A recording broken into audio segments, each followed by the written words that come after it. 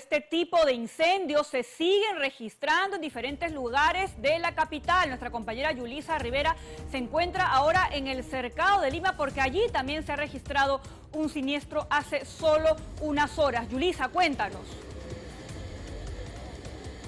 Así es, compañeras, buenos días. Exactamente en la cuadra 14 de la calle Leonardo Arrieta y es una vivienda de dos pisos y en estos momentos lo que estamos observando es que los paramédicos están atendiendo a dos personas pues aparentemente habrían sufrido una descompensación por la inhalación de humo. Pero el trabajo de los bomberos no solamente eh, eh, pasó en el rescate de estas personas, sino también de dos mascotas que quedaron atrapadas en el interior del inmueble. Incluso uno de estos canes se desmayó y los, bomberos tuvieron que darle los primeros auxilios y luego de largos minutos es que finalmente lograron hacer que el can pueda reaccionar y ahora ya se encuentra con algún vecino de esta zona. Según lo que nos han informado Claudia Pamela es que aparentemente una vela se habría caído eh, en el interior de esta casa y por ello es que habría surgido este incendio. Vamos a conversar con una vecina para que nos confirme esta información,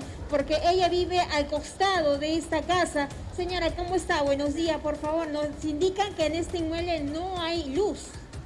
Claro, lo que pasa es que eh, no tiene luz la persona que estaba con la vela prendida y este lamentablemente ocasionó este... ¿Es la primera vez que ocurre? Es la primera vez, yo tengo 30 años viviendo acá y esta es la primera vez que sucede eso. ¿Cuántas personas viven en esta casa?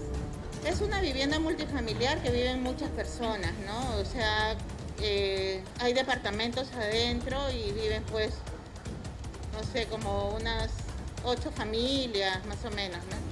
pudo observar que dos mascotas fueron rescatadas por los Hay muchas mascotas ahí, sí, sí, gracias a Dios los rescataron. Estaba un perrito agonizando, pero ya, ya lo, lo rescataron, sí, gracias a Dios.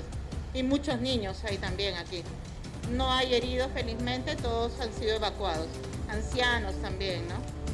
Gracias, señora. Así es. Bueno, hasta este momento estamos viendo que los bomberos todavía continúan trabajando con estas dos personas rescatadas y gracias a Dios esos dos canes que también fueron rescatados reaccionaron porque ellos salieron desmayados de esta casa, compañeras. Bien, gracias a Yulisa. Afortunadamente todo está bajo control. Las personas han sido puestas a buen recaudo, están recibiendo atención médica, pero esto es un llamado nuevamente a no dejar ninguna vela encendida, a revisar enchufes, algún artefacto electrónico que esté en mal estado que pueda desencadenar este tipo de accidentes. Gracias a Yulisa 5 con